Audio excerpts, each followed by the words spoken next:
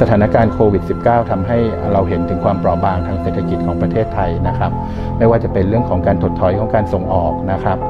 คนงานต้องตกงานนะครับ มีชั่วโมงการทำงานที่น้อยลงนะครับ รวมไปถึงการที่เราเปลี่ยนพฤติกรรม และส่งผลกระทบต่อสิ่งแวดล้อมนะครับ ยังไม่นับรวมในเรื่องของ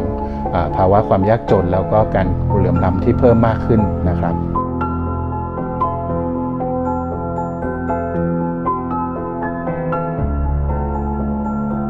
ทั้งหมดนี้เนี่ยทำให้เราต้องกลับมาคิดนะครับว่าเราจะหาทางออกให้กับประเทศไทยได้อย่างไร โดยคณะเศรษฐศาสตร์ มหาวิทยาลัยธรรมศาสตร์มีกลุ่มวิจัยนะครับทั้ง 5 กลุ่มที่เราเรียกว่าเป็นคลัสเตอร์วิจัยนะครับทั้ง 5 กลุ่มนี้ประกอบด้วยศูนย์วิจัยนโยบายเศรษฐกิจสีเขียวนะครับหรือเราเรียกว่า PRO-Green นะครับศูนย์วิจัยด้านความเหลื่อมล้ำและนโยบายด้านสังคมนะครับกลุ่มวิจัยด้านความสามารถในการแข่งขัน แล้วก็กลุ่มวิจัยด้านทรัพยากรมนุษย์ นวัตกรรม แล้วก็การพัฒนารวมถึงอีกกลุ่มหนึ่งก็คือกลุ่มวิจัยที่เป็นเรื่องของการจัดทำเป้าหมายทางเศรษฐกิจที่ยั่งยืนนะครับหรือที่เราเรียกว่าเป็น SDG นะครับเพราะฉะนั้นเนี่ยทุกกลุ่มเนี่ยนะครับได้ร่วมกันที่จะ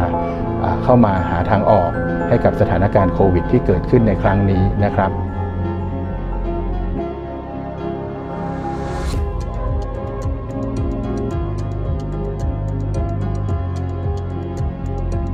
อเชิญทุกท่านนะครับมาพบกับการสัมมนาประจำปีของคณะเศรษฐศาสตร์ประจำปี 2564 โดยในปีนี้เนี่ยเราทำในหัวข้อก้าวต่อไปเพื่อประเทศไทยที่ยั่งยืนนะครับ เราจัดขึ้นในวันพฤหัสบดีที่ 17 มิถุนายน 2564 นะครับ ในรูปแบบออนไลน์นะครับ การเข้าชมเนี่ยท่านสามารถที่จะเข้าชมได้ทั้งทาง Facebook นะครับ แล้วก็ YouTube Channel นะครับ ช่อง Econ TU Official นะครับ ขอบคุณครับ